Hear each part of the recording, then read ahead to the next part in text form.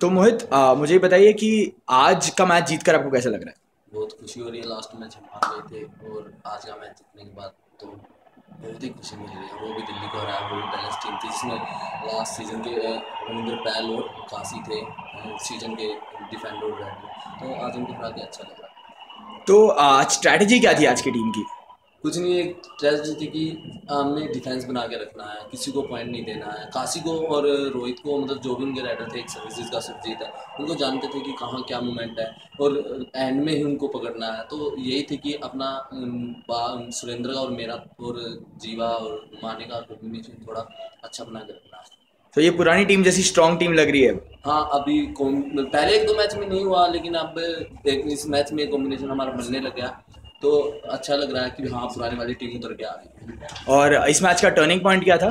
इस मैच का turning point जब भूपेंद्र लेके आए एक पॉइंट थर्ड रेड थी उम्मीद वो टर्निंग पॉइंट लगा। वैसे मैच तो वन साइड था टर्निंग पॉइंट तो किसी को बता सकते हैं लेकिन वो अच्छा लगा था कि हाँ भूपेंद्र सब्सिट्यूट गए और तभी एक पॉइंट लेके आए थर्ड रेड में।